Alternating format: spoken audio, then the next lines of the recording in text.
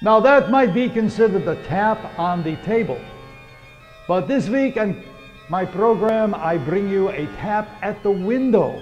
It's a short film brought to us by the fine folks at Glass Pixel Studios. We've seen some of their work before. And you can find their short film, A Tap at the Window, in my new Blood Showcase. What else? How about vampire art? Ah, yes, yes, vampire art. You know, uh, well, you can imagine it, but better yet, you can find out all about it because there's a book entitled Vampire Art Now, and it's reviewed by the Tomb Keeper in the Tomb. Please go to the game room and enter my current contest. You not, you never know. You might be the lucky winner.